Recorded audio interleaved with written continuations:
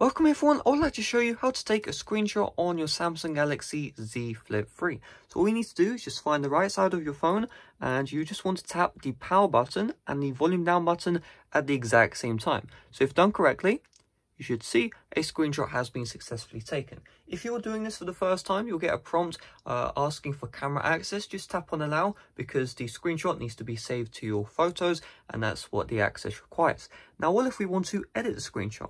So we'll do is we'll just take another screenshot and you're going to notice we have some options. So this is the edit tool. We tap on this one and the first option is we can crop the uh, image. So you just find these bars, you just move them and this will crop the image to however you want.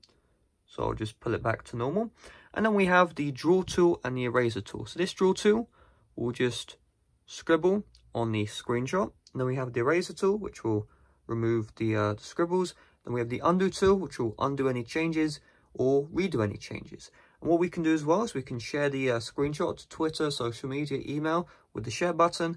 And then we have the save button where we can save our changes. Now, if you forgot to edit the screenshot when you had the chance, you can just go to the gallery find a screenshot and then just find the edit button right here and you'll be given even more tools uh, than before. If you want a full video on how to use all these tools, do let me know in the comment section uh, down below. But um, yeah, that's all you need to know about screenshotting. Hopefully this video helped you out. If it did, make sure to smash like. Check out my playlist you should see uh, on screen right now with all, you know, some Z uh, Flip 3 tips and tricks that you may not know. So make sure to check out that playlist. And uh, yeah, see you guys later. Make sure to leave a like. Bye bye.